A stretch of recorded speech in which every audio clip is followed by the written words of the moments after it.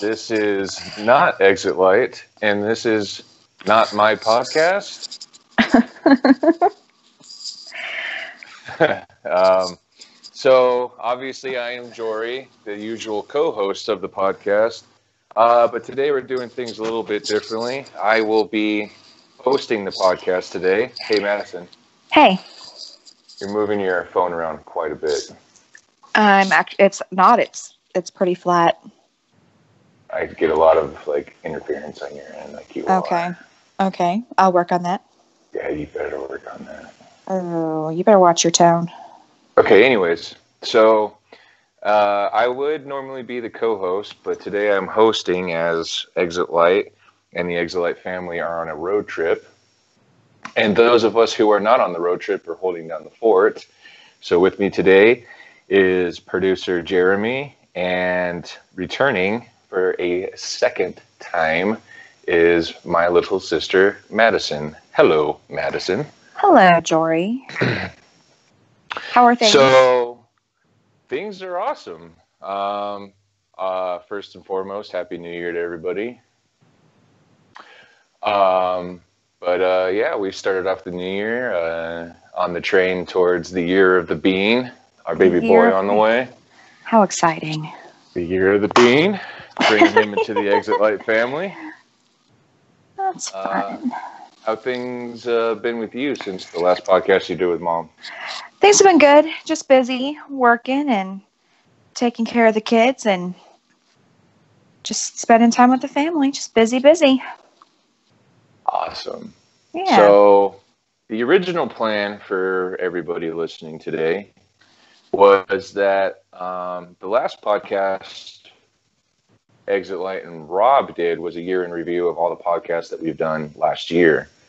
Well, we were going to do another year in review where it was my take on the podcast from last year with you guys, but with Exit Light not feeling well and her being on the Exit Light family road trip, uh, plans changed. Madison and I got kind of thrown together as a last minute option, and we're just kind of we're going to start off it. with yeah, we're going to start off with a topic, and uh, we'll try to keep to it. If not, you're just going to have to be entertained by our wacky nonsense, I suppose. It'll be good. We'll be, we'll do we'll try to do good. We'll we'll try our best, and I'm sure producer Jeremy with his cattle prod will keep us in line. um, how's the sound on my end? Does does it still sound like I'm like moving? Uh, it's a lot better than it was okay. when we started. Okay, good. I don't know what happened there. I'm sorry. It's okay. Just don't do it again. Well, okay. We'll see. So today's topic is uh, Madison and I and our siblings growing up in kind of like a paranormal, uh, crazy, rich family. And I know that I have talked a lot about my experiences growing up, but Madison really hasn't talked about any of her experiences. And so I figure we would just bounce back and forth uh, things that have happened to us within the family. Um, same thing with like Maya or Josh. Uh, and just kind of uh, go over those. And if we stray, then we might stray into serial killers or lost in the woods or um, how the Cowboys suck. Oh, yeah. Uh, whatever. We have to talk about that. Any chance I get to talk about how bad I don't like the Cowboys, I will take it. And for anybody listening who likes the Cowboys, um, don't unsubscribe. This is not endorsed by Exit Light herself. It is not. Uh, yeah. She doesn't even know this is happening. She knows this is happening, just not the hatred for the Cowboys. So don't judge the Exit channel based off of that. Yeah. Yeah. So with that, um, I guess we'll start with you, Madison, and maybe what your earliest memory of having a paranormal experience is. I remember my very first paranormal experience, and it was very, very shortly after we moved into the house in Casa Grande, um, where we, where me and Maya were still in what ended up being Maya and Josh's room.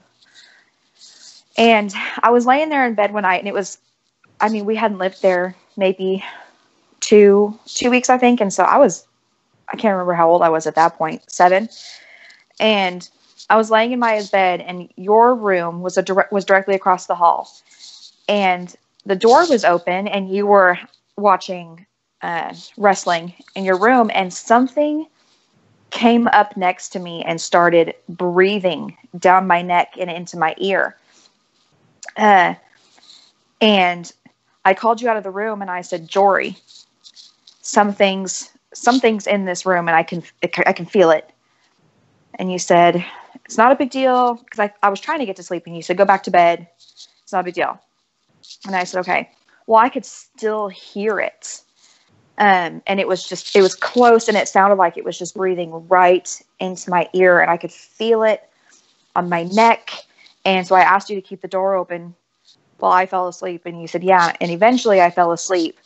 But those were the very first things that things like that started happening to me in the house almost immediately after we moved in. I just had the creepy breathing down my neck type feelings at first. Um, but then, of course, you know, after time, they just progressively. Yeah, I mean, I think we all had experiences in that house that just got more and more uh, prominent. I suppose. Right. What was what was your experience? Your first experience in the house? In the house in Casa Grande. In Casa Grande. Um, you know, there were so many. It's kind of hard to say what was the first one. Um, first, I do want to say that retrospectively, thinking back on it, I feel bad that I just nonchalantly dismissed your your something breathing heavily on you. Oh, it's not. I mean, it's not a big deal. I think you were just trying well, to. I think you were trying to not make it a big deal, so I wouldn't think it was a big deal. I think it was just trying to I think more, that more was kind like a, of like a. Uh, I think that was part of it, but I think it was just kind of like a big brother being annoyed by a little sister while I'm trying to watch wrestling. Oh, I'm sure. Kind of a deal. I'm, yeah. Um, but you know, but it was one of those like I had never had any. That was my first paranormal experience at all ever that I remember, and so it was more of those like when you hear it you can't move type yeah. things, right? Um, and in, and instantly I was like, I don't, I don't want to be here. Yeah, I um, I think with me it just started. I think it started with hearing voices downstairs when I would be on the computer um, oh yeah. I used to be a late night uh, owl mm-hmm. and stay up till two, three o'clock in the morning online, illegally downloading music and um, being on AOL Instant Messenger. Um, you rebel. I would hear people talking downstairs, and the way so we would have like we had a loft and you go downstairs, and then downstairs immediately once you get off the stairs would be the kitchen. To your right would be, uh, I guess, like a dining room, sitting room combo, mm-hmm. and we also had uh, the laundry room and the bathroom, the downstairs bathroom, and it sounded like the voices were coming from the downstairs bathroom. Oh, jeez. But I always thought that it was probably like white noise coming from the random moments that the toilet would make sound. Right. Uh, but when you constantly hear it all the time, you kind of get to the point where you're like, that's definitely not. Right. Yeah, you can start to tell. White noise. Yeah. right. Yeah. yeah. And so uh, uh, I think that was probably the first encounters I started having with the paranormal in that house was just the random voices I would hear. Now you had some encounters when you lived in Spokane, right? Yeah. So, well, we, I had encounters in every house I lived in in Spokane. Mm-hmm. Um, so, for those listening, I kind of grew up a little bit differently compared to the rest of my siblings.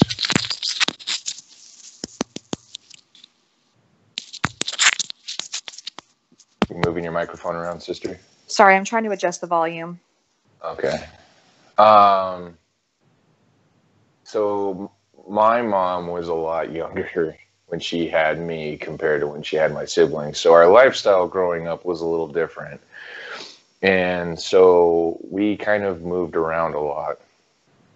And there was a few times where her and big surprise my uncle Mike were messing around with Ouija boards and stuff like that. So it always put me kind of at the crosshairs of weird phenomena. Um, the ha- main house that we lived in in Spokane, the house that um, you and Maya were, I don't want to say born in, but we were living in it when you two were born. Right. Um, our the house had been around at that time, probably 50 years, give Mhm. or take. I believe the previous owner had passed away in it. Oh, in the house? I believe so. Oh, I guess I never knew that. Um, and so I was never like I was always afraid to be in the house when the house was dark. I always had to have a light on, but the basement, the basement was always the creepiest part of the house. hmm 24 7. It could be summertime, the hottest part of summer, and you could go in the basement and it's freezing freaking cold. Mm. Um, and I had a lot of experiences in that uh, house. Um, I can't actually remember seeing anything physical. I do remember, like, a lot of the times I'd hear heavy breathing around me. Mhm. Uncle Mike saw a physical being in that house that scared the holy daylights out of him. Was that the one that he saw down in the basement? He, uh, at one point in time, he lived with us in that basement with his then wife. And he woke up to a figure. I don't know if they were it was standing over them or if it was floating over them. Oh. But there was a figure there looking down at them, and that dude fully left his wife in the basement and took off the stairs. Oh my gosh. Yeah. Mike. Yeah. Oh no, I did. I did see. That was um that was the same room that um myself and uh our uncle Jeremiah um we were I, I can't remember what he was there for if he was visiting or if he was living with us, but we Mhm. were in my room and we were talking and we had the lights off and there was a gray figure that appeared at the door, which I thought was uh, uh, JD, our dad. That's right. And he made you go turn on the light.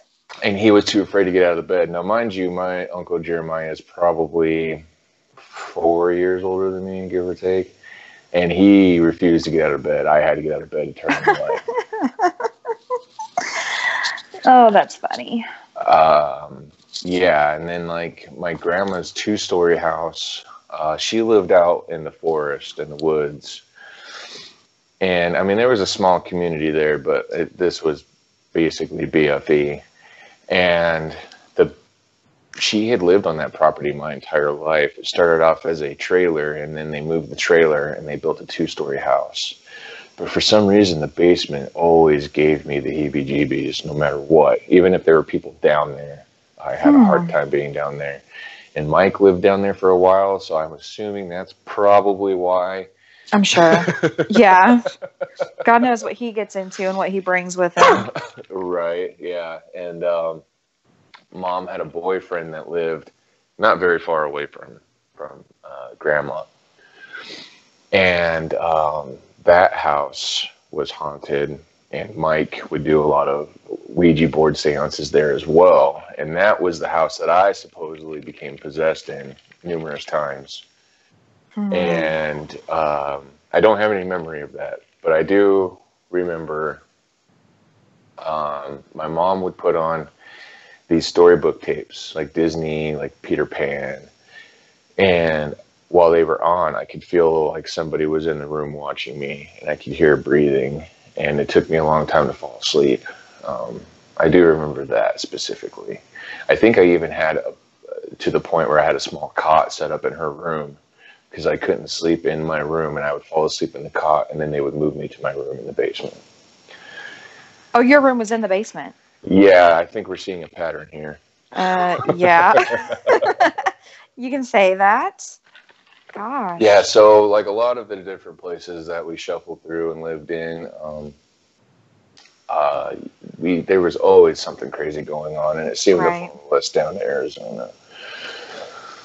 Um, and it started interacting with you and Maya and Josh, and eventually Yeah. even got to even got JD to notice. So Well, we when we moved from that house and we moved to Texas, we lived in an apartment complex, and directly when you first walk into this apartment complex, directly to the right was our um, living room area.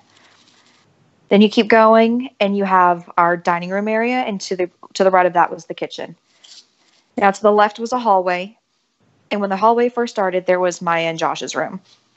You keep going down the hallway, and there's a bathroom, and it led to mom's room, and it broke off, so the whole apartment kind of looked like a horseshoe shape. And at the Mhm. very at the very end was my room.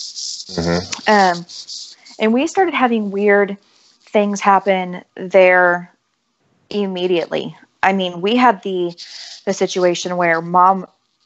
I I remember this specifically. It, we were watching the speech that Barack Obama gave when he was announcing that we had killed um, Osama bin Laden Mhm. And he was on TV and he was at his podium and he was talking about the seals and everything. And mom was wearing a real thick um, gray sweatshirt. And she was wearing a t shirt underneath it. And she said, I am burning. And I said, What what do you mean? You know, what do you mean burning? And she said, My side, um, like directly under her armpit. Uh, she said it's just burning. And I said, Okay, well, lift up lift, lift up your sweater and let me let me see. And she had three distinct marks that went horizontally um, across her across her uh, abdomen or I, the, her side. And they were very sharp. It wasn't something that looked like um, fingernails like a regular set of fingernails would have done because those are thick. Um, but these were very fine point, like needle looking marks. And then as I told her to get up and go look at them, she had another three go directly across those and make an X. And they started bleeding. And uh, so that was one of the first things that I remember happening. Is Jory, is it better? Yeah, you're good. Okay. Um, that's one of the first things that I remember happening. Or we were all sitting down at our dining room table and we were playing marbles. And mom went to go roll her dice. And this something, this little, like, it looked like a little black cloud went over the marble board and it went over her hand and uh, cut her on her hand. And I remember, I remember shortly after that, she she she knew somebody who gave her these miniature crosses that were dipped in holy water Uh huh. and she put them up around the house and she outlined the doors and the windowsills with uh, salt and i remember a, a couple a couple apartments down our neighbors and we thought this was strange for the longest time because we hadn't we hadn't done the salt yet but they had salt outside of their windows and their doors. And we thought well that's that's weird. You know I, I had never seen anything like that. And so shortly afterward we were like hey you know maybe we should try this. And dad had a couple instances where we we uh, we used to have a family friend that would come over. Her and her husband and their family would come over every weekend uh, every friday and saturday and they would come over and we would do dinner and we'd play marbles and games and stuff like that. And they had a, a daughter and she was about about josh's age. Um, and it was getting late at night one night and they put them in joshua and maya's bedroom which is, which is directly next to at, the, at that time which was our dining area. Mm-hmm. and dad said that he thought he heard something and so he was going to go open the door to tell them to go to bed. And he went to go open the door and something on the other side was holding the door shut. He said he couldn't turn the doorknob and the doors didn't have locks. Um, so he said he couldn't turn the doorknob and he felt like there was somebody on the other end pushing the door because he could get it open about half an inch to an inch and then it would just slam back. And he thought, well, obviously it's not to seven year old children because they're not going to be able to hold the door that shut. And so finally, whatever it was let go, and dad was able to open the door, and both the kids were asleep. And I remember that freaked him out really bad because dad, you know, doesn't really have a lot of experiences um, and was a real big skeptic for a very long time. And so he was like, he was dead set he would knew something was behind that door and Mhm. keeping it closed. Um, Yeah, yeah. That would I- freak me out. And I've been, I've been a believer my entire life. yeah, exactly. Well, and Dad's like, I know nobody broke into because their their bedroom had an outside window, and he's like, at first I thought maybe somebody was in the room. Um, he said, but surely you know we would have heard somebody coming in, and he said I walked in there, and he said they were both asleep, like nothing had ever happened, and he said I kept yelling at them to open the door, open the door, and he said, and they were just asleep. And that house, that apartment was just the feel in there alone was really weird. And the one room that eventually nobody ended up going into because it was Maya and Josh's room, and eventually nobody ended up sleeping in there uh, because it was just so creepy. Was Maya and Josh's room? You could walk in there in the middle of the day, and just you just got that weird get out type feeling. Um, and I remember there was there was one night where I had gotten out of bed some sometime in the middle of the night and I went out and I got myself a bowl of cereal. And the way that our living room was set up is that our TV and I believe we had the entertainment center at the time um, was set up on the back wall of the living room. So we had the L shaped couch like we have now, that red one. hmm And then we had dad's recliner. And dad's recliner was positioned in a spot where you could see the bathroom in the reflection of the TV. hmm And I got up and I turned the light on to the bathroom. And I sat in the living room and I didn't have any other lights on and I was eating my cereal because I guess I was hungry. And I saw something in the shadow of the TV walk past the bathroom. And then the bathroom door slowly started shutting. And that scared the hell out of me. I don't think I've ever flown out of a chair and gone back to my room so quickly. And what what really scared me is I have to pass the bathroom to get to my bedroom. So I was in like a dead sprint. I must have been 15, 16 years old. hmm And so when I was telling, I ended up telling Maya about it. And Maya said, Yeah. She said, I've had weird things happen in that chair. And she says, I have weird things about the bathroom. Um, and one, one day she was, um, she was there and I, I think it was her friend that she had at the time. She was laying in dad's recliner and she was sleeping. And she said something came up to her behind the recliner and pushed it down like she was going to fall backward. hmm And it scared her so badly that whenever she came over, she would refuse to even sit in the chair anymore.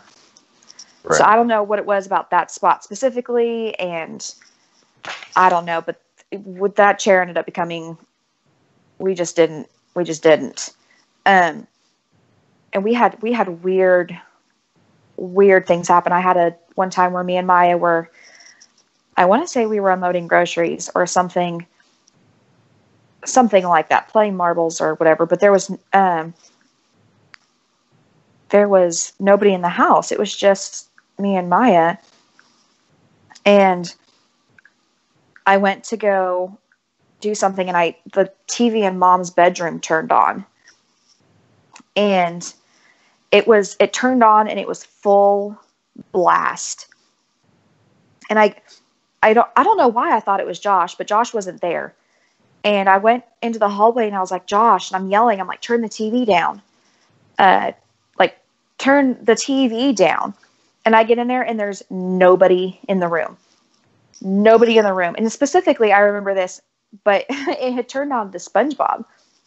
and it was one of the scenes where the Flying Dutchman was on. And when the TV turned on, the Flying Dutchman, he said, I told you this place was haunted. Oh, And- dang. Yeah. And it was blaring and blaring. And Maya said the like the look on your face when you got into the bedroom and realized that nobody was in there. She said you just turned white. Um, so that's when things first started kind of happening for me. And then we moved into the uh, place where they're currently at, and that that that house I I won't stay there alone.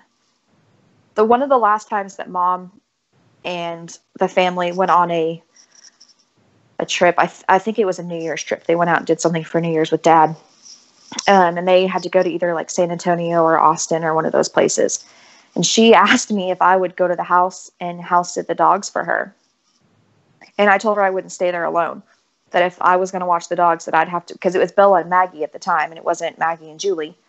Um, that I would have to watch them at my apartment because I wouldn't stay there alone Mm-hmm. because I'd had so many weird things happen to me in that apartment um, that I, I I won't go in there if there's nobody there.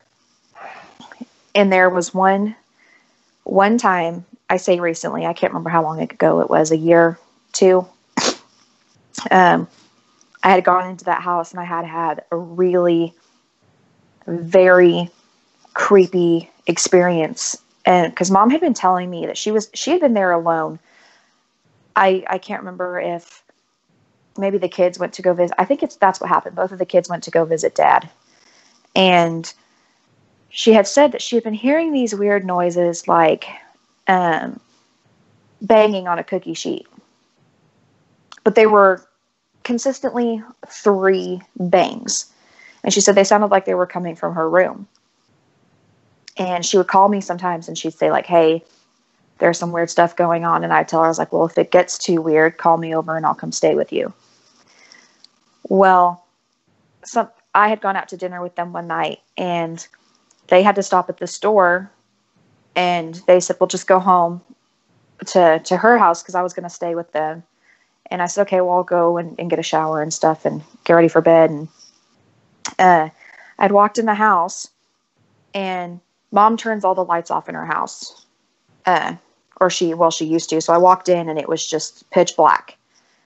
And i thought okay well um, maggie she's deaf and so she doesn't see me come in. And i'm walking my way through the house and i'm turning on the lights and i hear like a a doorknob um, jingle in the back of the house and instead of picking up the dogs and getting out of the house, I thought, oh, you know, let's go look like an idiot.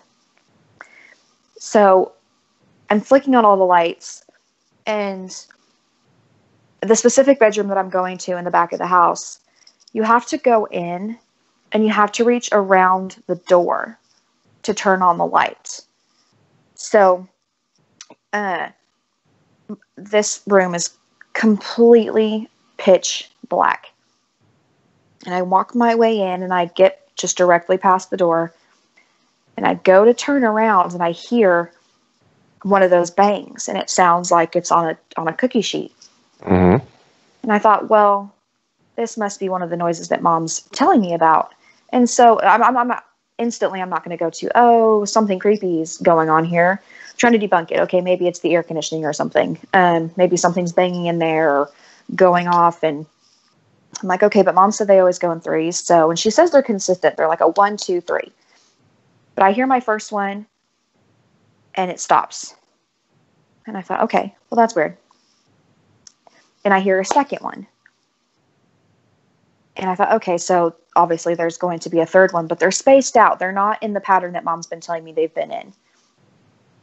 And I go to turn on the light, and the third one comes, but it's not just one knock. It is, there's banging coming from every direction. I can't tell where it's at, which is how I know it's not the air conditioning because the air conditioning vent is on one side of this room. Mm-hmm. Um, So it's coming from everywhere. It sounds like it's directly in front of me, on the sides, right behind me, all over this room. And it's just bang, bang, bang, bang, bang, bang. And the door behind me just slams shut as hard as it can. And at that point, I don't remember getting outside of the apartment. I remember the door slamming, and then next thing I know, I'm outside and I'm calling mom. And I said, Mom, when are you going to be home? And she's like, We're on our way home from the store. I, she can tell something's wrong because I'm crying. And she says, What's going on? And I was like, I can't go back into the house until you come home. And she said, Okay. So we got home. I told her what happened and everything. And she's like, I told you I was hearing these noises. And I was like, I don't know what noise you were hearing, but it, it clearly was not the same noise as what just happened to me. And whatever it was, was smart enough to lure me into that room. It was smart enough to make noises to get my attention, to get me to go in there. And so that that apartment, I won't go into mom or into that bedroom anymore. I won't go into the bathroom that's connected to that bedroom um, because mom's had some really weird things happen to her in there as well. Um, and I won't stay in that house alone. I just, I absolutely will not do it. And the room that Maya's staying in, or the room that Maya was staying in in that apartment, um, that room for some reason also gives me the creeps. I don't know what it is, but that room just makes me feel really, really, really uneasy. And Maya, she'll go in there and she'll sleep in there and it'll be pitch dark and she'll just sleep in there by herself. And she is brave because I had been in there once. Um, and I don't know where Maya was, but I was with mom. She might have, she might have feeling tad or something. And I had brought my dog over and I was in there and I was watching a movie, and Maya had a chair sitting in the room, and Dahlia had hopped off the bed and she was just growling at this chair that didn't have anybody in it. Um, and she would just sit in front of the chair and just stare at it. And then if something happened, she would bark or she would growl. But she never left from watching that chair the entire time we were in the room. And so I eventually, when I moved out and when I started um, living on my own, I had a couple weird things here and there happen to me. Like I had moved in uh, with a couple roommates, and we had some. I mean, we had some minor things happen. We were we would leave things in a certain place, and then we'd come back and they weren't there, um, and they were moved. Um, but nothing beyond that really happened until I moved into another apartment and I lived by myself. Um, and I never lived by myself. And at this point, i w- I'm already like I was already kind of iffy. Um, and it was a, a an efficiency style apartment. So when you walk in, it's it's an open concept. You have my dining room and my living room or I'm sorry, my dining room and my kitchen. To the right is my living room, and then in the back it breaks off into a closet, and then there's a shower. It's real small, and I had a, a uh, like a in my closet there was this patch of the ceiling that was like a square that people could get up into the attic and stuff. And I never really thought anything of it until there was one day that I was I had used my curling, no, not my curling iron, my iron. I was ironing my work clothes and I sat my iron on the edge of the ironing board and I went into the bathroom and I was doing my hair and my makeup and the iron uh, fell over. Mm-hmm. And I thought, well, that's weird, but you know, maybe I just set it too close to the edge or something and then it just slipped off. Whatever, not a big deal. So I unplugged the iron, I let it cool down, I put it in my closet. Well, there was one day where I was sleeping um, in my living room area, and I had woken up, and my iron was moved out of my closet and it was sitting on a glass table that I had and it was plugged in. But but when I got to it, it hadn't even gotten hot yet. It was to the point where you could still touch it. Mm-hmm. Like it had just just gotten there. Yeah. And that made me really nervous. So I called mom and I said, Hey, these things are happening. Dahlia would do this weird thing where she would follow something in there and it would lead her all across the apartment. She basically did like a uh like a runaround through my entire apartment. She'd go through every corner and she'd go through every room and she would just follow something until eventually she got to where she started and she stopped. Um, so I, I, I called mom and I told her about the iron situation and she said, well, do you have anything in your apartment that anybody can get in through? And so I told her about this spot in the, in the, in the closet. And she said, well, attach something to it that if it moves, it'll make noise. So I bought these little Christmas jingle bell things and I tied them together on a string and I hung them from this, uh, from this little board in the ceiling. And nothing nothing ever happened with those but i was still having weird things happen to me in the apartment. So i went and i bought sage because we have a local uh, natural grocery store. It's called natural grocers. And Mhm. they sold they sold sage so i went and i saged the house and did my little thing and i never had anything happen anything weird happen to me after that. When we I moved out of that apartment when I met Cody when we moved in together and then we moved into a house. And then we moved a year later into the house that we're currently in and I still haven't except the only weird thing that's happened to me here is the night that we moved in um I was in the I was in my bedroom and I was putting stuff away and Cody said, "Hey, I'm going to go out to the living room and grab something." And I said, "Okay." Well, it sounded to me like Cody was calling my name, but he was angry. And he was like, Madison, Madison. And so I got out of the bedroom and I went into the living room and I said, What? And he looked at me and he said, What? And I said, Were you not, you know, were you not just calling my name? And he said, Well, no. And I said, Okay. Weird. And then this last time that he was home, I was in the shower and he was in the bedroom and he said to me, he said, What? And I, I said, What? And he came into the bathroom. He goes, What do you need? I said, I wasn't, you know, I wasn't calling you. And he said, No, I'm positive. I heard you.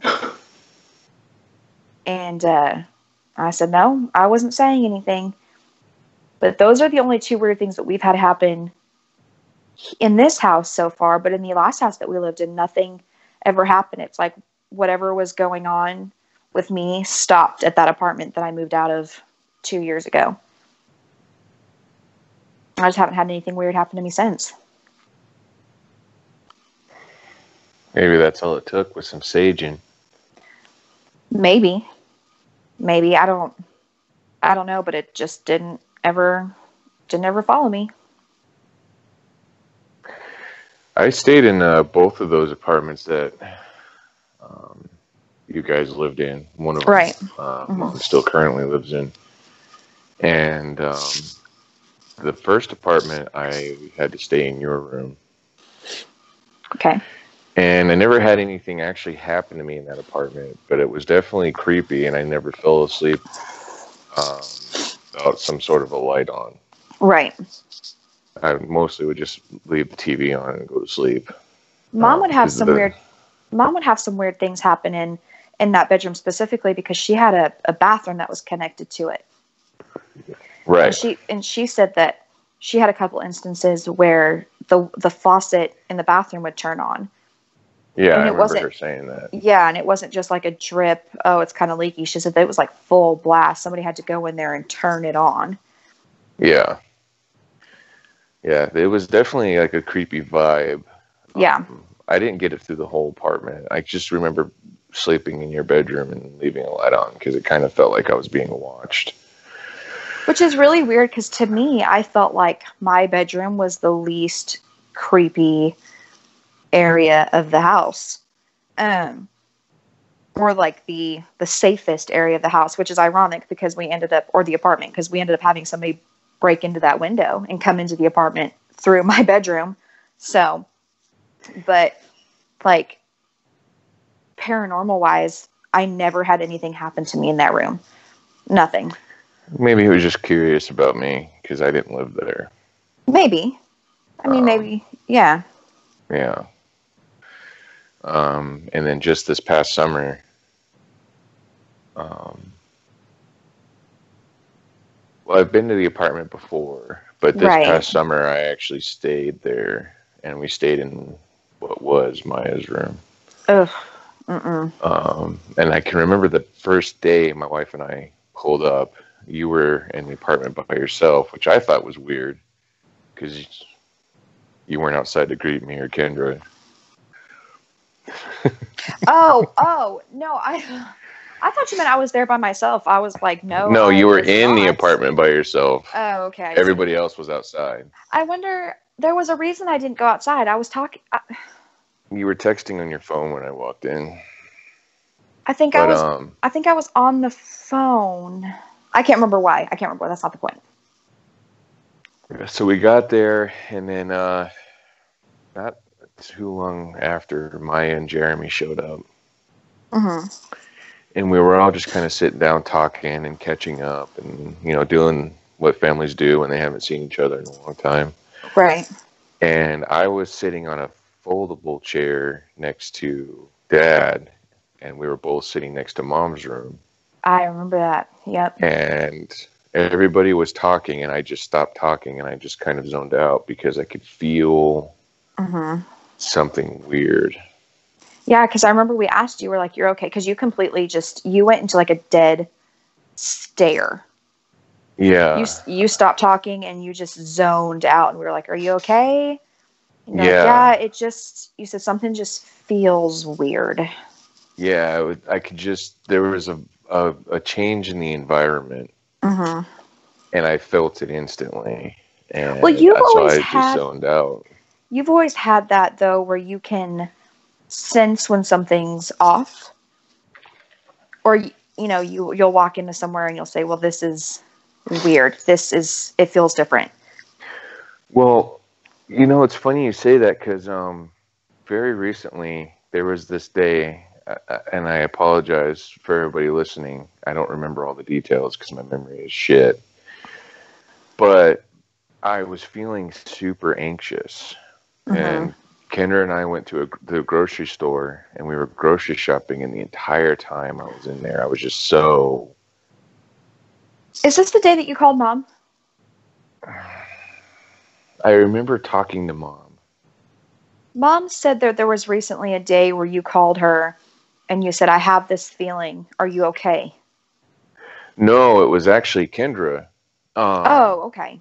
Kendra randomly just was like, "You need to call your mom," and I was like, "Why?" And she was like, "Have you talked to your mom today?" And I was like, "Well, as a matter of fact, I've called her twice today." Right. And she was like, "I feel like you need to call your mom right now." And I was like, "Well, I've already talked to her twice. Why don't you call my mom right now?" so she called my mom, uh, exit light, and um, she was like, "I'm sorry to bother you. I just feel like I have to talk to you right now. I have to feel, and I just feel like I need to make sure you're okay." And mom was like, "I'm okay." I was that the same day that I was feeling like crazy anxious. Was that was that it?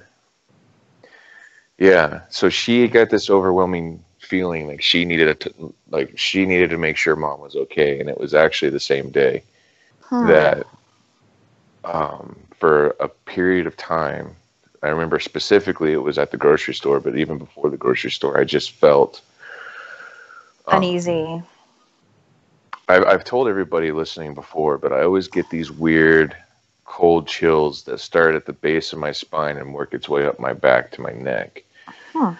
And it was that repeatedly over and over and over and over and over again. And um, I felt like I was just completely surrounded by people. and I just felt like I had to get out of whatever it was I was in, but I wasn't in anything. I mean, I was in a grocery store, and I'm not. I have claustrophobia, but not in a grocery store because I Right. work in them all day. Right. So I'm like, I just couldn't figure out what the hell was wrong with me. And then later that night, Kendra suddenly was like, I need to talk to your mom. We need to talk to your mom. We need to talk to your mom. So I don't know if maybe I was feeling what Kendra was feeling Maybe. in a, a way, shape, or form. Right. Um, but yeah, I, I just, I, ha- I just have this.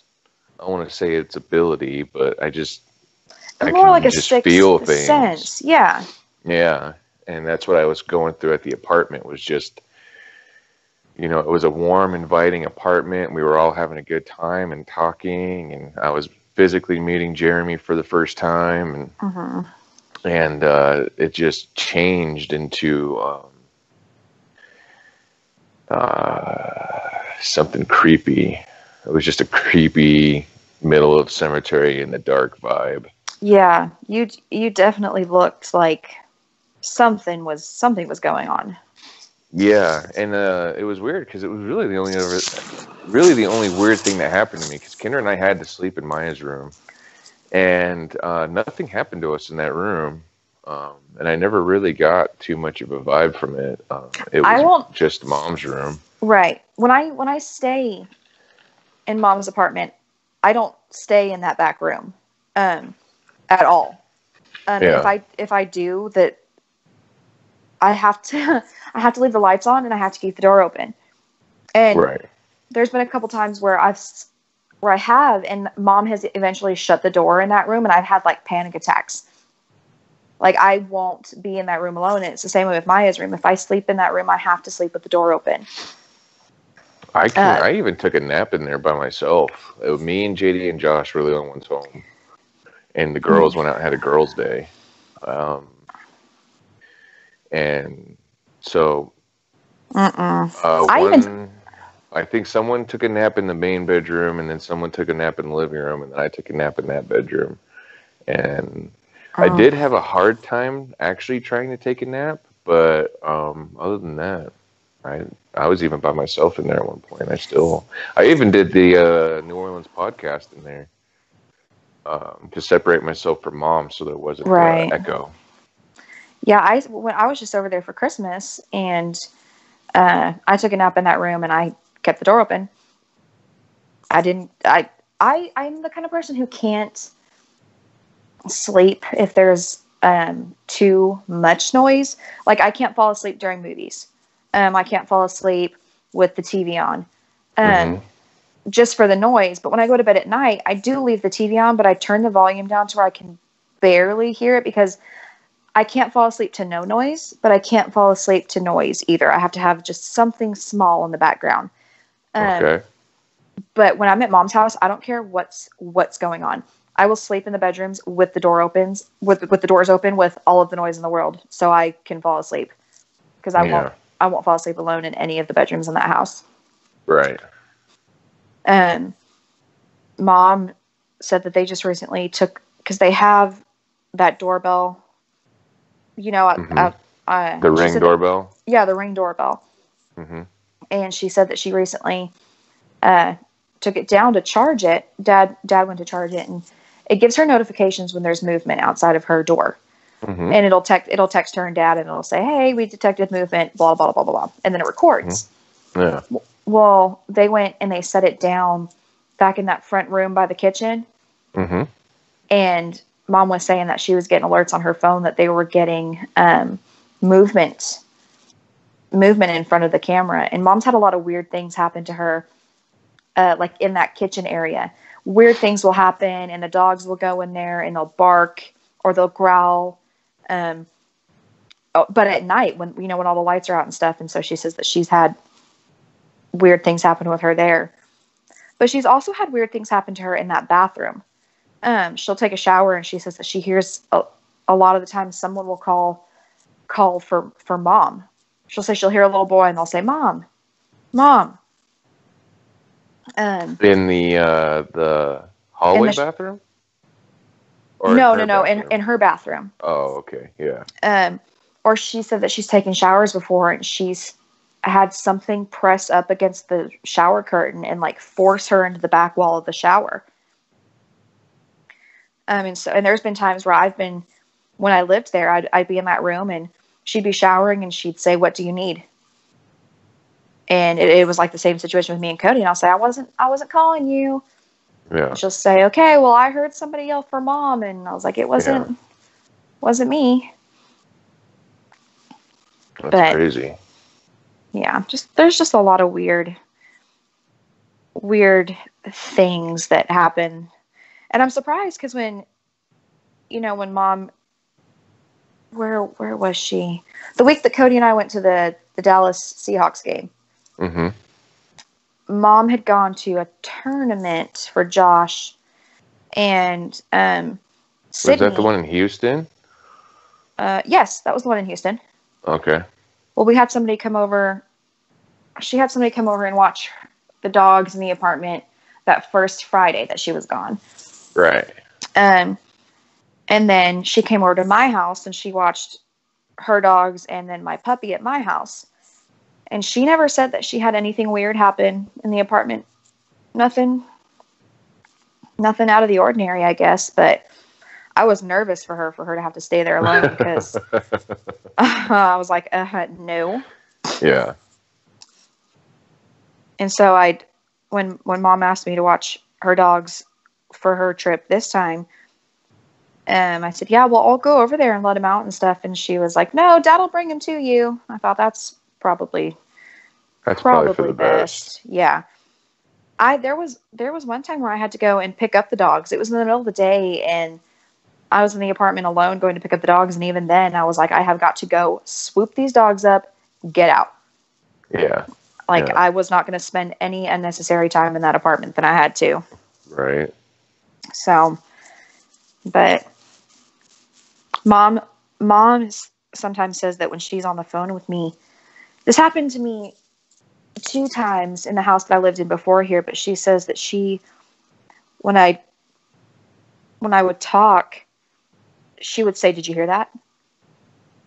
And I would say no, and she said something on your end of the phone was a deep male voice and it would always be when we were hanging up the phone and i'd say okay i love you i'd say i love you and i'd hang up the phone and she called me back and she said did you hear it i'd say no and she said something on the other line in a deep male voice said i love you too and so in that apartment like i said nothing weird ever i'm not in that house i mean nothing weird ever happened to me in that house hmm um, but she would say, you know, I can hear somebody on the other line. I can hear somebody on the other line. And I'm like, there's no, there's nobody here. And she was like, nope, something is there. I'm like, okay, cool, thanks. Mm, I don't know because I've I uh, I specifically remember listening on a podcast of moms where I heard a little boy talk to her live on the podcast. She apparently has had a couple of those. yeah, and I had to text. I texted. I know. I think I was Maya right away, and I'm like, "Holy crap! I just heard a little boy Yeah. uh, on the podcast."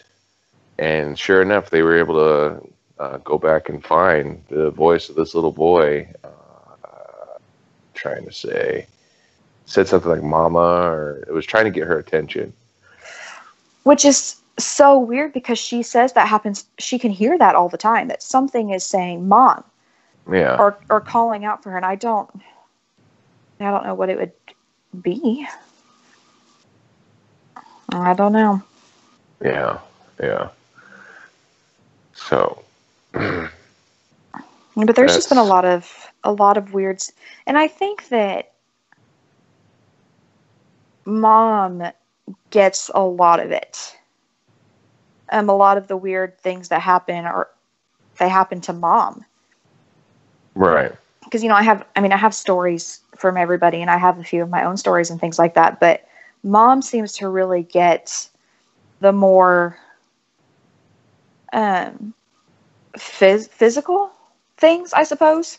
hmm She says that sometimes when she's asleep, uh, things will grab at her feet and yank her on the bed. yeah, Um, And, you know, like I said, of course, with her scratches and her, what, you know, whatever else. And, you know, she had that story when she was younger. She had that burnt handprint on her back. And I, I, or she had something push her down the stairs once. Um, and so I just, I don't, I don't know what it is, but it seems like it really f- focuses around her a lot. Well, I know that she messed around with the Ouija board when she was a kid, Mm-hmm. uh, quite a bit, and that's part of the reason why she she's told the story on the podcast before. Oh, okay. the handprint on her on her back. Right. Um, so uh, I I I mean, it would be nice to be able to just look take a peek behind the veil and see what goes on on the other side, so we could Right. offer explanations for what what is what. Exactly. Um, so I don't, I don't. understand. It could be mom's tampering with those sort of things that have just kind of attached itself to her, and in a way, it's attached itself to us. Um, Maybe. Because I know when I moved out uh, into my first living situation hmm with my now wife, uh, the hauntings didn't stop, and she became a victim of the hauntings herself. Um, Right. Yeah, I remember you saying that there was a, quite a few. Even Nick had some weird things, didn't he? Well, when so we moved into an apartment when I moved out of the two-story house here in Mhm. Casa Grande. Right. Um, and this apartment was actually the apartment that we lived in prior to the two-story house being built because our dad was building it. So we lived this- Right. we lived in an apartment. Well, years and years later, I move out of that two-story house right back into the same apartments. As a matter of fact, right across the way from the old apartment. we I was gonna and s- that Wow. that apartment was haunted. Hmm. And so this apartment we moved in, and I had I remember walking, doing the tour with the lady, and I remember walking and telling Kendra, "Yeah, when we lived here, this place was haunted." And Kendra was like, "Are you sure you want to live here?" And I'm like, "Well, I'm sure ours will be fine." Right. yeah.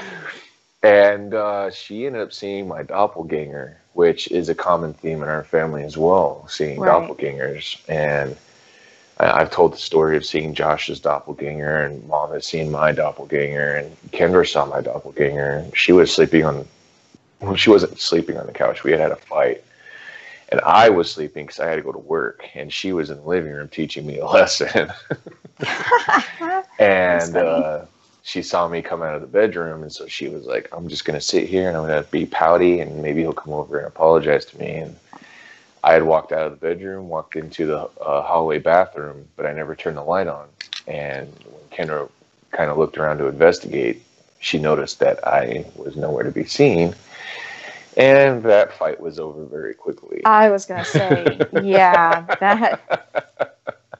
Yeah. Um, and then Nick had had a dream in that apartment that it, it was a really scary dream. And then uh, the way our furniture was set up in that dream, Kendra, not very long afterwards, had re situated our apartment to look like how it was in the dream, but he hadn't told us the dream. So when he showed up to our apartment and seen his scary dream basically come to life, he refused to come into the apartment. He didn't want to. He wanted anything to do with it. oh, jeez. Um, but we, I, I saw black figures in that apartment walking around all the time. Uh, same as Nick, same as Kendra. Kendra and Nick had a situation where they kept hearing each other call each other's names, but neither one of them actually were. And I was at work. Hmm. Um, and then uh, from that apartment, we moved into my current house, which um, I'm happy to say is mostly paranormal free. We've been living in this house for, I think this is year nine. Nine years? Wow. Oh, jeez. Uh, nine years. And uh, we've had a couple of experiences, but nothing on the scale of what I used to live with. Um, Yeah. um, we had we used to have a black lab, and uh, we took her over from my wife's family shortly after moving into this house, and she Mhm. had a freak out moment where she ran into the living room. Just I've never heard her bark prior to that like that or Mhm. after that, Hmm. and um, long story short, I came out to the living room and she was just barking at this weird blank at this spot on the wall that there was nothing there, and she was just like a dog in a full blown attack mode, ready to kill it. And I couldn't, I didn't see anything. There was nothing outside. Um, and then after my grandpa Jeff passed away several years ago, we started having activity in our house, uh, voices and things moving on their own and shadows. Uh, but that didn't last long, maybe a couple weeks. Mm-hmm. Um, and then other than that, I can't I can't really say we have too much that happens in this house. It's probably the most paranormal free I've been in my life is living in this house, but it doesn't go away. Like I can go other places and I can feel it and I can sense it and I can tell like the energy here is different than than other places. Well, um, when I was at, I mean, because I've been to your house twice, and I never had any sort of weird, really feelings um, about anything. I never had anything too weird. I mean, happen to me there. It was. It felt fine, which you know, is as I was expecting there, especially with like our family history of weird things happening, I was expecting to go there and just have something super off the wall and crazy happen to me. Mm-hmm. And then both times I was there, nothing happened. I mean, nothing. It was just very normal. Yeah, I did a podcast last year with mom and um, uh, Brian, the gentleman who came down here back in October, and we did the ghost hunt. All right. And I was telling him because we were talking about the paranormal and you know our different ideas, and I was telling him that I kind of feel like I have. I don't know if it's just years and years of, of going through it, or if there's something on the other side. I don't Mhm. know, but I kind of feel like I have this like weird protection shield thing because I every so often I'll get that feeling like there's something around me, Mhm. um, but then it goes away very quickly at the same time. So it Hmm. just kind of has this weird vibe of like uh, there's a, there must be some kind of attraction to me from the other side, but it can't linger, and I think that's in this house. Like they want to linger, but they can't. but they can't. Yeah. That's very interesting. That's Yeah. interesting. Yeah. Yeah, So- I uh I mean I never really had anything really super crazy happen to me like like I said with the with the the light or with the bathroom and the door in the apartment. I mean that's those are creepy things. Um or you know the breathing in my ear and things like that, but those I've never had other than the the experience in mom's apartment which was terrifying. But that's really the only like major thing I've had happen to me.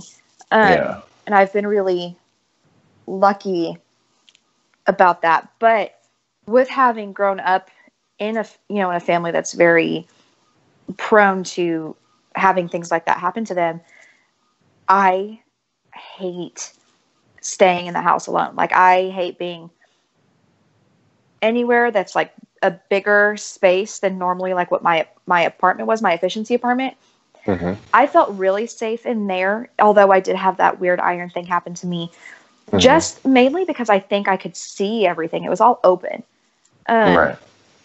But even like in our house now, um, there are still times where I'm I'm nervous to be alone because I don't know what's going to happen to me, and you know, ninety nine percent of the time it's nothing. Nothing ever happens to me, but it still just Yeah. makes me just nervous. I can't.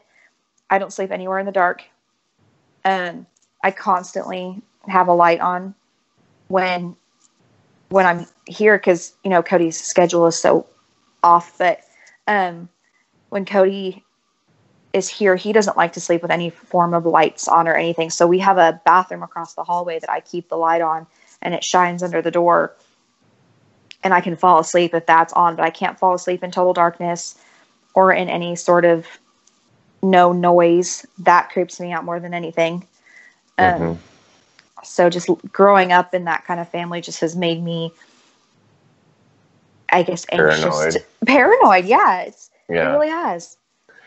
Yeah, I have. Uh, I kind of have the same issues. Like if Kendra and I are home together, um, I can I can do okay because I have the dogs, and the dogs are kind of like your first like your first sign Exactly. that something's going to be wrong. Right. Um, but sometimes um, Kendra Kendra, on top of being a teacher, also works with our city youth.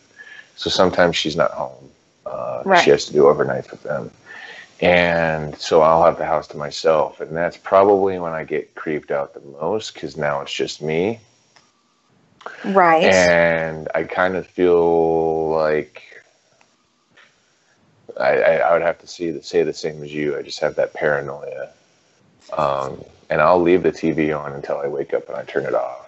Yeah. And I make sure the dogs are in the room with me. Um, but I think that's, I think you're right. That's kind of like one of the curses of growing up in the family we grew up in is Right. you're always expecting something to happen. hmm Even if you've gone years without anything happening to you, you're always expecting it regardless because Exactly, because you never know when it'll- happened. Yeah. Or you'll never know when something will start back up or, Yeah. yeah. But it was never, it was never so bad as it was in that house in Casa Grande, though. We had so many weird things happen in that house that I, it just constantly felt uneasy. Yeah, Like- I, I still remember to this day mom running downstairs. I was watching TV and she was upstairs on the computer and she ran downstairs and she I had moved my TV and my video game system out of my room and into um, what was at the time the playroom. Right. It, it eventually became your room, but um, it was the quote unquote playroom where all the children could go in there and play. Right. So she was hearing movement and people talking in my bedroom, and she knew my TV and my video games were no longer in there, and thus I wasn't in there. Right. And I wasn't even upstairs to begin with. I was actually downstairs, and she ran downstairs, and I don't remember where Jay was at the time. He might have been asleep, but she ran downstairs, and she was just like, "There's some, there's people talking in your room, blah blah blah."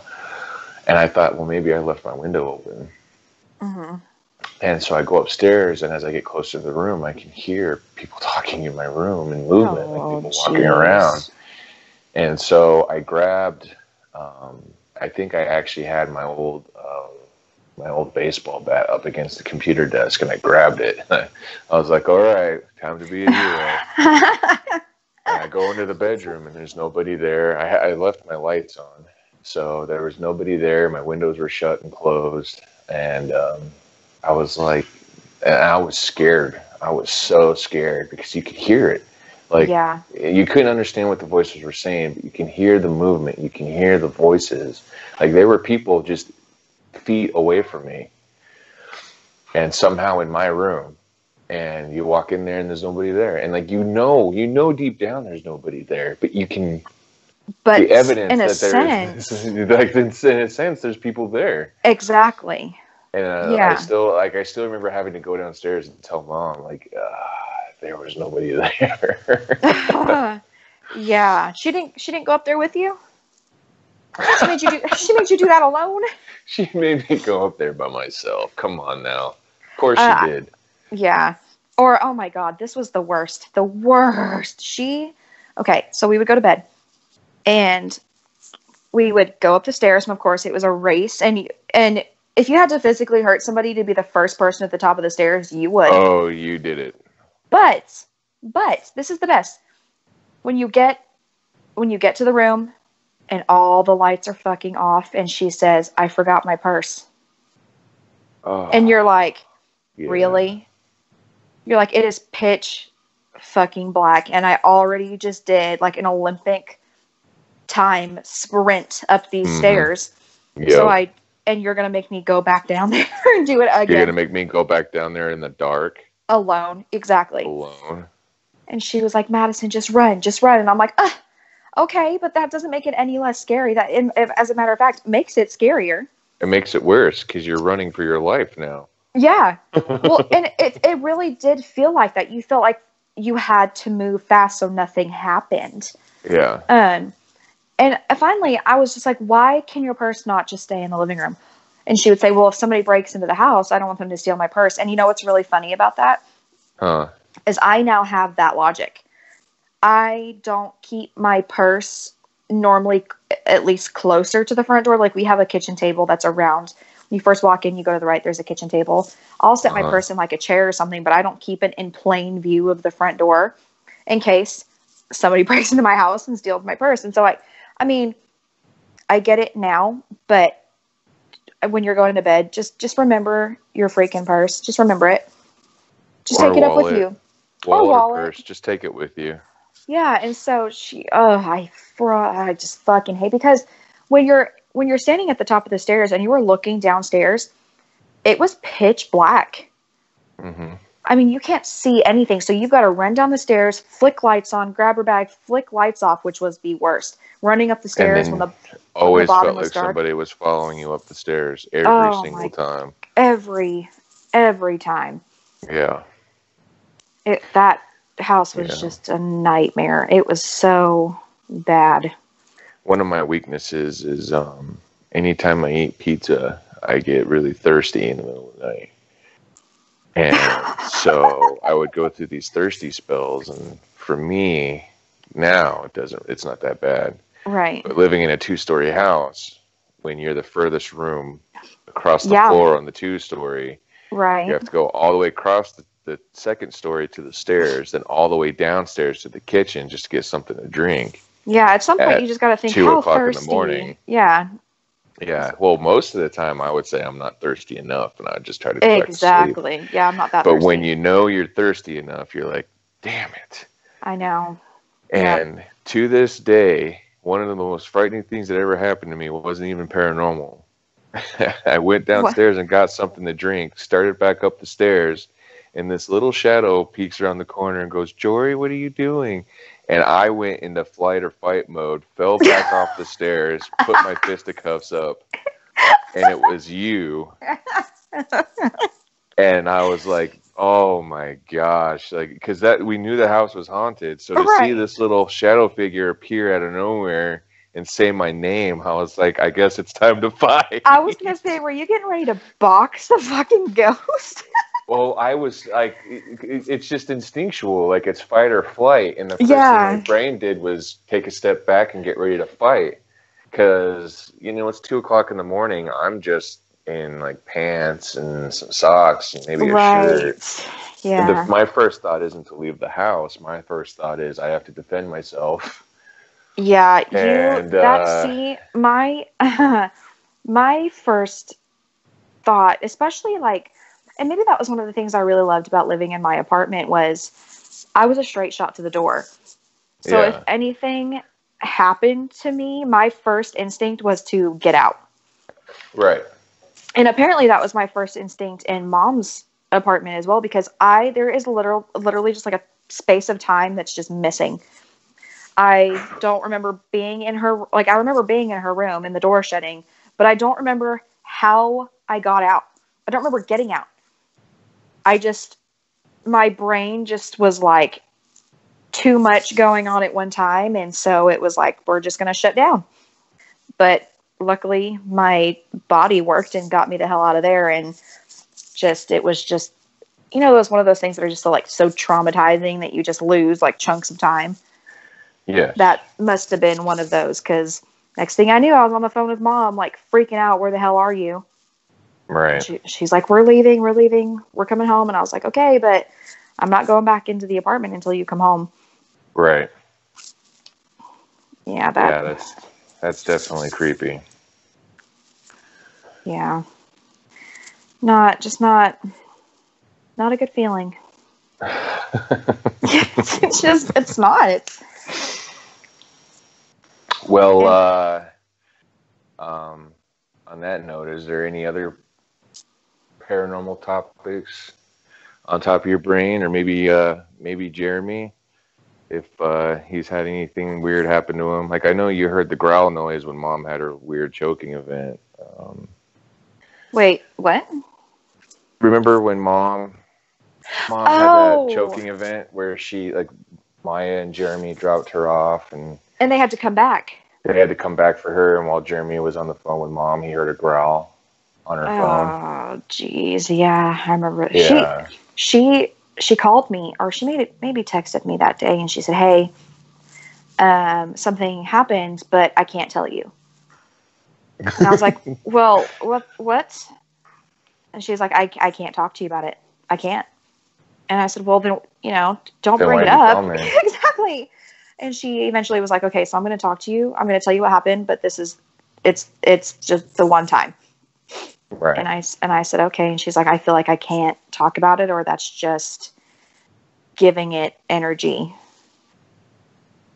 And I said, "Okay, that's fine." And so she told me what happened, and um, she said it felt like she was not being choked, but choking. yeah. And Like something like like her throat was closing or something like that. that's what yeah and she said it didn't she said i didn't feel like something was physically like around my neck choking me she said but i could it felt like something was in my throat mm-hmm. and i said well that's weird and she said it brought me to my knees i couldn't breathe and she said by Yeah. the grace of god i made it um to the phone and i was able to call maya and jeremy and i said well yeah i mean that's but she said it just happened she came back from a doctor's appointment or something and she said it happened to her as soon as she came in the house something happened to her. And that's what and that's what i was saying is she always gets like the physical really abrasive angry things. Um and luckily thank god you know i haven't had anything like that happened to me. And so because that's one of the things i was always worried about is is moving out is i thought are these things going to happen to me Mm-hmm. when i move out and i live on my own? And what what am i going to do? And luckily it hasn't. Yeah. oh don't don't cody still doesn't come home for like another 10 days. Don't do that to me. Gosh dang. I can't. You're such a jerk. I apologize, and but it's it's, so fun fine. to taunt you. i But just um, oh, go ahead. yeah. I was, I was with my anxiety i i just am constantly anxious about things like that happening and i don't know what i would i don't know what i would do. Because i know that if something weird happened to me i wouldn't want it i wouldn't be able to stay in the house alone. Like i can now because nothing weird ever happens to me and it, everything feels fine. Mhm. um, but if things like that started happening to me i just i don't i don't know. And my and it's it's you know mom always says that she's gotten to the point where she's just kind of like she doesn't pay attention to it. Yeah. and how do you get to that point how are you just like oh yeah i'm just not gonna i'm just not Um, well, I know just from my experiences, you just, it's not so much you don't pay attention to it as you just get used to it. And so when something happens, like, yeah, it kind of freaks you out for a second, but then you're just kind of like, oh, that happened. Like, um, when, um, when my grandfather passed away and Kendra and I started experiencing weird stuff for a little while, the first thing that happened was I was showering and this black figure walked uh, in front of my shower door. And so I thought, well, okay, well, maybe it was just the shadow of a bird flying by because there is a window in my bathroom that isn't covered. uh-huh. So I just kind of shrugged it off, whatever. And then I started hearing the voices again. And Kendra had objects moving on her from here and there. And instead of being like, holy crap, that's scary, I was just like, oh, okay. like, this is happening now. And that was Yeah. it. Like, I just moved, like, I mean, you just kind of like, it's there and you're scared, but at the same time, you're kind of just like, oh, okay, great. More, more fun. Yeah, I I apparently have just not gotten to that point yet. I I mm-mm. I just don't feel like I don't know how you just get to the point where it's kind of just something that you live with you know, every day where you get to the point where you're not as scared as you, I guess, used to be. And you're just like, oh, okay, well, you know, like you said, this is happening again. But then again, I, I haven't, you know, you've had more things happen to you than I've had happen to me. So maybe, I don't know. Maybe it's just, I just haven't had enough happen to me yet. I just, uh, I don't know. It's hard to explain. You just kind of, um, I mean, you kind of walk around with this, with, you know, also with the fact that like dad was a skeptic for many years. So it was hard Oh, to talk yeah. about because he wouldn't believe you. I mean, he would Right. believe that you were experiencing something, but he didn't believe it. Right. Um, and then I don't know about you, Jeremy, what anything that you've experienced in your life, but I imagine that coming into our family and hearing all the crazy stuff that we've been through, if maybe you, I don't know if you're a believer or non-believer, but I'm sure that's like a big bowl of cereal to take in. Yeah, I'm So- sure. It's kind of one of those weird things where you kind of have to carry it around by yourself until Mhm. somebody somebody else starts believing in it with you uh, and then you kind of just get to a point where you've built up a uh, a wall or a tolerant a tolerance if that hmm Right. and so um, it's been easier now for the past several years with my wife and I living in this house currently where we don't get so much attention from uh, the other side. But it, when I do, I it doesn't like I notice it, I sense it, I feel it, I acknowledge it, and then it's just kind of like, okay, well, I, I, I've got I've got stuff to do, so Yeah. either Yeah. tell me what the hell you want now or get out of my way. So Yeah. Well, at least you know in the house you're living in now, there hasn't been quite quite as much. Uh, yeah. I- I mean, there is a part of me, and it's weird to say it, but there's a part of me that kind of misses it because it kind of keeps things interesting. Um, Right. But for the most part, I I do still I I can walk out the door and experience like you know I could go to mom's house like I did in July and be like, oh, something's not right with that room. Right. So it's not something that's ever gone away. It's not something that will ever go away. Um, and you know, like I, you know, with my family member passing away a couple of years ago, he made sure to to be like, hey, um, just letting you know I'm leaving, and here's a couple of uh, here's a couple little nasty surprises for you. so um, while I do miss the, I don't know if I want to say the adrenaline of the constant experiences. Right. Um, it's nice that there's kind of a calm now, and my wife and I can go to sleep without too much worry, and especially now that we've got the little baby boy on the way, um, it's going to be nice to know that I'm not going to have to, I'm not going to be able to turn the baby monitor on and hear some witch hag singing to him. Witch- oh, Well, I mean, I mean, my mom, my mom and my mother-in-law will be here, so I might still hear some cackling. But Oh my god. uh, hey, Jeremy, let's edit that last part out. yeah. yeah. Make sure she doesn't hear that. Make sure she doesn't hear that.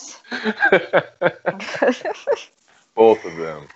yeah. But uh, um, it's nice to know that the house has got a nice, calm center where we can live our lives and not have too much interruption in the in the bubble. When we put ourselves out there in the world, it's a different story. Like Kendra and I have stayed at the most haunted locations you can think of, and and when we're in those situations, I expect it. But at home, it's nice to be able to not expect it. Well, yeah, and I think that's the thing is when you go to you know your your haunted places, you're you try to do the the best that you can to prepare yourself. So when it happens, you're not as shocked. But when it happens when you're at home and you're least expecting it, that is part of the frightening aspect is that you weren't prepared. Right. And so, like you said, when it comes to your fight or flight instinct, sometimes what your body does is it just that's its defense mechanism. And I'm weird. I don't know why I don't just run. Like I'm like, all right, time to fight. My my fight or flight just goes directly to flight. Just get out. like Well, I did have an experience where um, I've told the story before, but essentially there used to be this abandoned church that everybody said was haunted, and, and we would go there, um, me and my friends, and we would uh, um, just see if it was. And I've told about my experiences with the church there, and I we. Uh, me and a good buddy of mine and his wife walked into the church and in the corner was this giant bee's nest or i thought was a bee's nest at the time. Um, it could have been flies. But all i heard was this buzzing sound and when you see like a large congregation of these flying insects um, you you think automatically like a demonic haunting and so i right. just turned around and I said bye. And I See ya. out of there and I left them in the church, R- uh, oh my god. just running off into the desert like you're on your own. hey, sometimes yeah, when you know something's bad, you just gotta go. Just go. it's time to go. yeah. Yeah. Well, Hello. more often than not, I tend to have instances where I spend more time trying to fight when I'm scared rather than just getting the hell out of the situation. Yeah. I I didn't inherit that. I did not get that. I just like I don't know. I would just rather not not deal with it. I'd rather just not have to like I said, if just not deal with it. If something weird's happened in the house, get get me out. Let's move. I don't want to don't want to deal with it. And there was Right. there was the time where after mom when she got when she got scratched uh and it started bleeding, dad was like, We've we've got to look for places to to move. He's like, We can't stay here. Mm-hmm. And you know, shortly after we ended up we ended up moving, but that one was just a weird one. I had never seen anything like that. Because it just she would just said, I'm burning. I'm like, okay, well you're wearing a sweatshirt, you know, take it off. Right. And she Yeah. was like, no, like something is physically burning. And I'm like, oh, oh no. this just just sounds Right. bad. like Right. and it was weird because you know like i said it wasn't anything that one of the dogs could have scratched her or she could have ended up scratching herself because she was wearing two different layers of clothing Right. and and at that point you have to think okay something went out of its way to cause you this discomfort and this pain and and that's when dad was like we we got to go Right. because that just seems like a lot of ener- it seems like a lot of energy for for something like that to happen and why was it taking that energy to do that Exactly. so i remember there was there was a time when we lived in casa grande and uh one of the girls that lived across the park in that little cul-de-sac area Mm-hmm. uh, we were at her house and she brought out uh, a Ouija board and I I had never heard of it. I didn't know what it was. And I came home and I was telling mom about it and I called it an Ouija. And she was like, You are not allowed to go over to that house anymore. And I was like, Okay, well why? And she's like, You're not supposed to play with that. And she goes, If you she goes, if I let you back over at that house, if some if she goes ahead and plays that game again, you have to leave. mm-hmm. And I said, okay. And she never, like, there was never any explanation. It was just a stern, you cannot play that. Mm-hmm. And then, of course, as I got older, I learned about it and I thought, wow, that's, you know, and it's just something they sell. Just, they sell it. I don't think it's either Walmart or Target that doesn't sell them anymore. But you can, you can get them at either one or you can go, like, our local bookstore has them Mm-hmm. um, Spirit Halloween sells them around Halloween, and so I just it's something just so easily accessible, but it's so dangerous. Depending on the person, I suppose. I guess if you don't believe in things like that, then it's really nothing. But you know, like I grew up in a family where I know not not to like even go within a ten foot radius Well, I've always been a believer of once I've done more research into it, I've always been a believer that it's not necessarily the Ouija board. It's the the Ouija board is a tool. The people Right. the people involved with it are feeding the energy into the environment, which allows Exactly. whatever needs to come through to come through. Right. So it doesn't have to be an Ouija board. Like honestly, you could just sit in your room and day in and day out keep calling out to something, um, sending out your energy into the universe or whatever, well, you know, and, and, people, something will eventually find its way to you. Exactly. You know, and people do that all the time. They do their little seances with their candles and their pentagrams and whatever. And so it doesn't necessarily have to be a Ouija board, but that is one of the more common things that people use as a tool to. So it's true. It Yeah. is. It's just mainly your energy. And if you're looking for something, it'll it'll find you. Mm-hmm. It will find you, and, And and we it know that all too well. Well, and that's the thing is, you know, when people when people do those things and they think that they're trying to reach a loved one who's recently passed, and it doesn't. What comes to you isn't your loved one. It's just like I said. It's just the energy. Whatever can grasp onto that and make its way out here will, hmm and it'll do what it has to. You know, and that's just that's the that's the scary thing is you just never know in situations like that what you're bringing you know what you're inviting into your home or what's going to follow you. You know it, it, it's not even necessarily your home. You can move from home to home to home and it's it's attached to you. It will find you.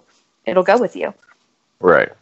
and that's the scary thing is it's not like a oh you know we're going to move and our problem's going to be solved. It's sometimes they they don't and that's like one of the things with mom is like con- no matter where we are something's happening